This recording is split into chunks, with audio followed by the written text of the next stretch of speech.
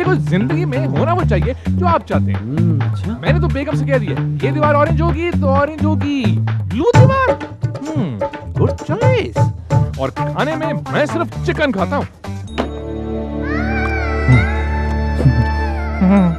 फिर गाड़ी भी तुम्हारी मर्ज़ी की। हम्म, मैंने तो सारा को बोल दिया कि गाड़ी सिर्फ़ यूपीएल ड्राइव से। फिर? फिर? ओके। ओके? फिर मान गई। L drive. अब चलेगी आपकी मर्ज़ी।